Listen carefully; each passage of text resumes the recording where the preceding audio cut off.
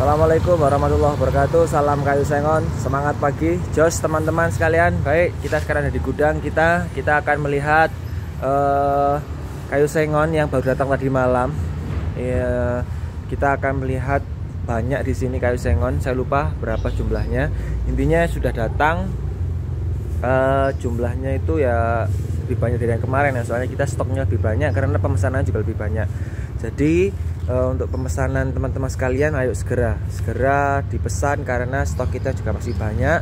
Eh, kadang-kadang uh, nih stoknya ini kita nggak sampai kapan karena pemesanan untuk bulan-bulan ini pun juga banyak. Jadi segera kita pesan oke? Kita masuk dulu.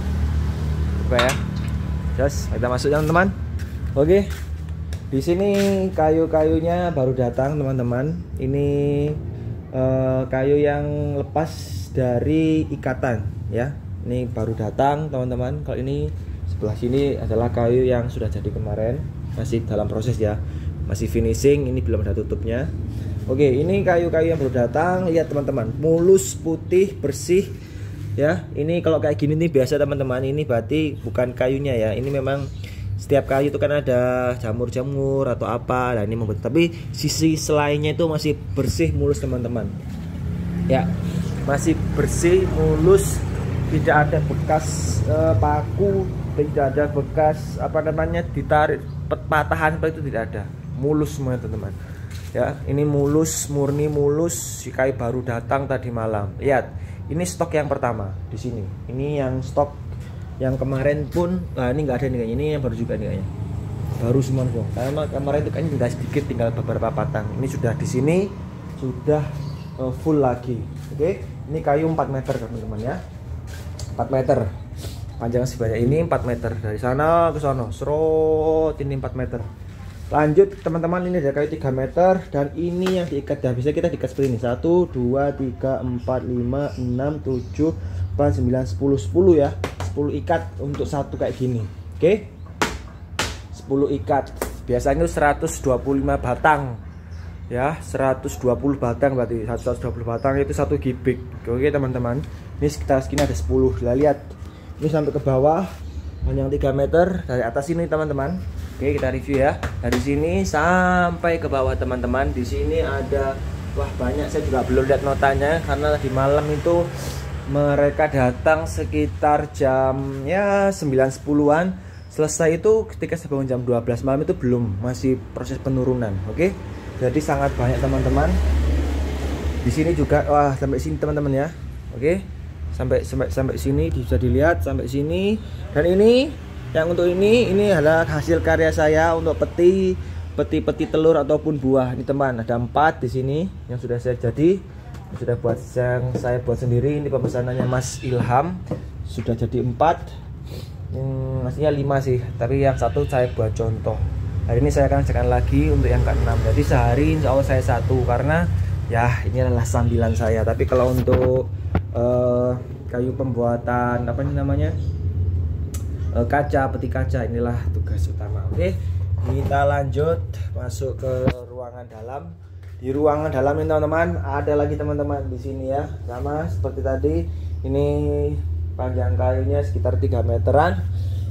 Lihat ya dari sini ke sono. Oke okay. 3 meter masih diikat teman-teman. Lihat semuanya masih berbentuk ikatan-ikatan dipasih dibungkus istilahnya ya belum kita unboxing kita preteli apa namanya ini e, tali rafianya masih baru. Kalau yang di sana ya itu bekas yang kemarin. Ini bekas yang 3 meter yang kemarin itu tinggal segini ya.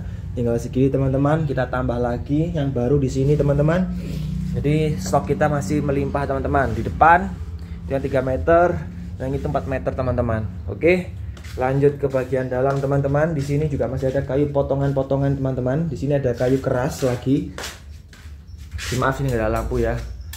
Nah, di situ itu ada kayu yang keras. Itu untuk sandaran kaki teman-teman. Itu besar banget segini. Sekitar berapa senti ya kayak hitung ya. E, 5 atau 6 senti gitu di tebalnya tingginya.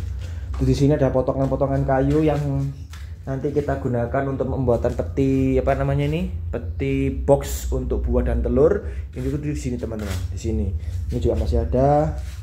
Ini kayu-kayu yang lebih, lebih, lebih tebal lagi. Ini juga di dalam masih ada stok kita. Terus di depan belakang sana masih ada. Jadi stok-stok kita masih ada di sini. Ini kayu-kayu yang potongan-potongan yang uh, biasanya nanti kita pakai untuk apa namanya kayu telur dan buah dan juga di sini teman-teman. Telur dan buah kita tuh ngambil dari sini teman-teman. Nah ini potongan-potongan ini yang langsung dipotong. Nah ini teman-teman. Lihat ini mesinnya kita di sini. Lihat potongnya. Tadi saya bawa. Ini kayu selonjoran ini yang panjang sekitar 4 meter dan 3 meter ini kita potong di sini teman-teman ketika sudah dipotong jebret. Nanti nanti di sini sisanya. Nah sisa tadi kita taruh di sini teman-teman. Taruh di sini ada yang taruh di belakang sana ada yang taruh di dalam sana dan juga ada yang taruh yang kiranya kurang layak banyak pecah-pecahannya itu banyak uh, patahannya patahannya itu kita taruh di luar sana teman-teman. Ya di luar nanti kita juga review oke? Okay? nah ini di gudang samping lagi kita ini panjang lagi 4 meter teman-teman. Jadi tambahan yang di depan sana ditambah yang di sini teman-teman. Ini panjang 4 meter. Jadi kita uh, mainnya di angka 4 meter sampai 3 meter teman 3 sampai 4 meter teman-teman ya. 3 sampai 4 meter. Ini masih baru kinclong putih mulus bersih tidak ada noda tidak ada bekas apa pun. Masih baru baru dipotong. Sekali lagi kalau seperti ini teman-teman ini bekas bisa jamur atau kena kerak atau gimana. Yang penting ini bukan hasil dari uh, pabrik ya. Ini karena mulus asli seperti ini. Ya biasalah. Barang semua tidak ada yang mulus tidak ada yang rapih ada yang cacat sedikit ya. Tidak ada kayu yang tak retak atau tidak ada kayu yang ada uh, jamur-jamurnya seperti itu ya jadi ya segera pemesan segera langsung dipesan di saya oke? Okay? whatsappnya nanti saya taruh di deskripsi. Oke okay, teman-teman seperti itu. Dan ini kita buat kayu untuk uh, peti box telur. Dan ini kita review nanti setelah ini oke? Okay? terima kasih telah menonton. Wassalamualaikum warahmatullahi wabarakatuh. Salam kayu sengon semangat pagi jos